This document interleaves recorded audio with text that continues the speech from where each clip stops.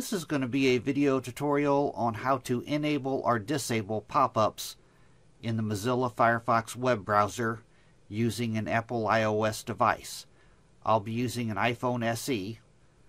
Let me jump over to my iPhone here. Okay, I'm on my iPhone here.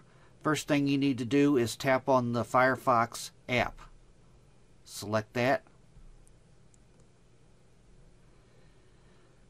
Then you will tap on the three bar hamburger menu in the lower right hand corner. Select that. Then you will scroll all the way down toward the bottom and click on settings. Now we're inside settings here.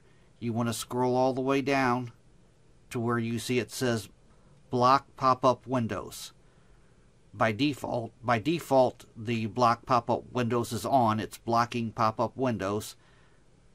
But to toggle it on and off, you just tap on the toggle. Now my browser will accept pop-ups. And if I toggle it back on, it does not set, accept pop-ups. That's how you enable and disable pop-ups using the Mozilla Firefox web browser on an iOS device. Thanks for watching.